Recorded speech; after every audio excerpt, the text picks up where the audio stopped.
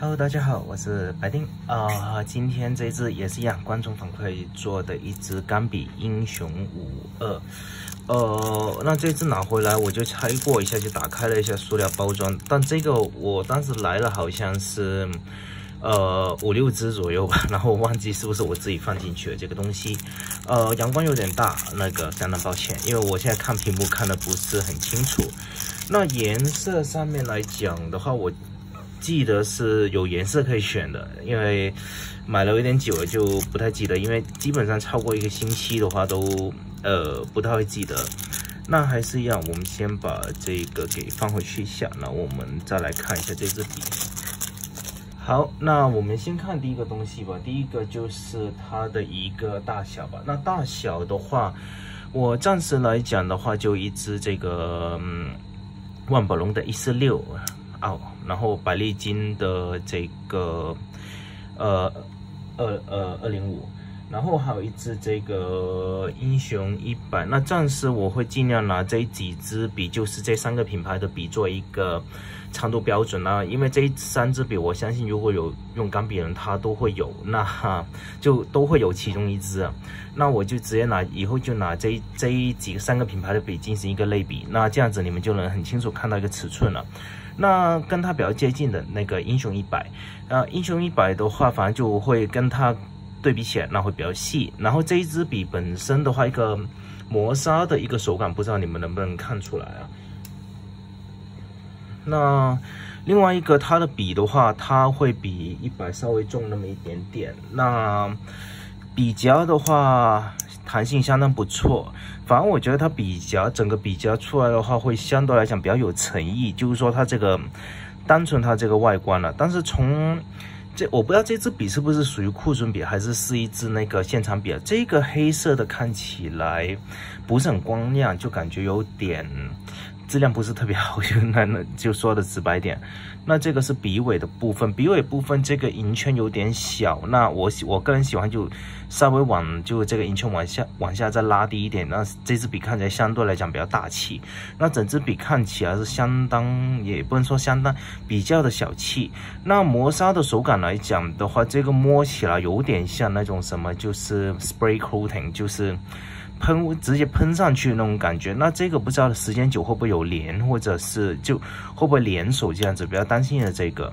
那笔的话是一个插拔，那里面的不知道能不能看清楚，有一个塑料的套筒，防墨钢的一个白白的，呃，对，一个白白透明的吧，不知道能不能看清。那笔帽大概就是这样子了。那我们看一下笔身。笔身的话，应该是常见的那个三点四的，哎，推拉，呃，可以可以，这个是那个西摩西，而不是，终于不是那个就是几呃几呃几捏式的了，这点我个人来讲非常喜欢，呃，哇，这根笔的话，唯独的一个好处，我觉得是它的笔握跟笔感来讲，相对来讲就是它的直径相差不是特别的大，写起来的话本身也是偏细，那长度也是刚刚好，非常够，能看到我这里，如果在拿。往我拿拿高一点，那有点架不住，但是也还好，那正常笔都不会说有说架不住这个问题了。我觉得也现在笔很少，除非真的特别迷你的那种笔。笔尖上面来讲的话，我应该是 E F 尖吧。呃，笔尖的话，雕花上面就没办法可以去考究了哦。我看一下能不能放清楚一点，好像没办法很清楚了，哦，可以，可以，OK 了。呃，不好意思，屏幕有点抖动。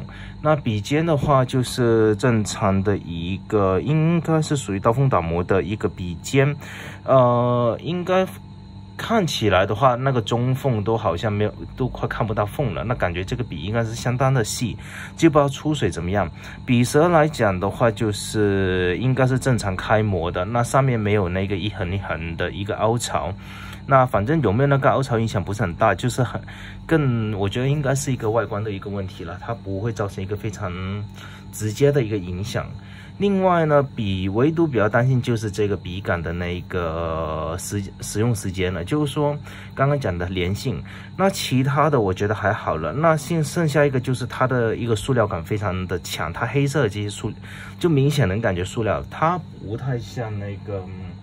你看百利金的这种，它就没有那种，就是说它也是塑料，但是，呃，不好意思，哎，好，呃，它也是塑料，但是没有那种很强的塑料感，你们可以对比一下看一下啊，就是那个可能是那个反光吧，我觉得有有可能是那个反光影呃影响的。好，那大概就差不多这样子了。那该讲的，我觉得应该也没有什么别的可以讲的。这支笔的话，碰的笔多了，感觉就很词穷了，就是看起来很难有一个精细感。那还是一样，我们先去上膜一下。我觉得唯独比较好评的就是这个推拉式上膜器，这种上膜器真心很方便。好，那上一下墨，我们先。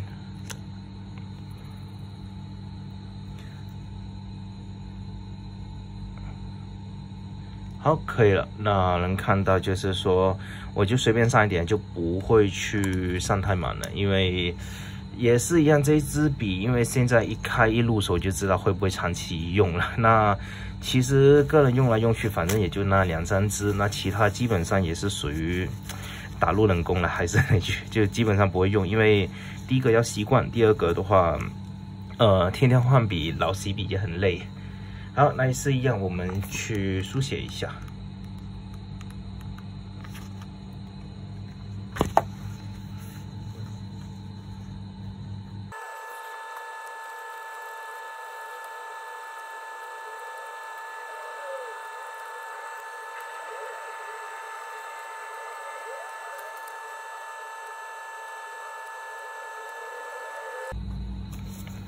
好，书写完了。那首先，因为这一支笔的话，我之前用完墨了。那我换了一下笔芯，发现一个问题，能看到差别很大。那这个之前应该是零点三八的，不是零点五。那这个我搞错了，这个才是应该正常的零点零点五。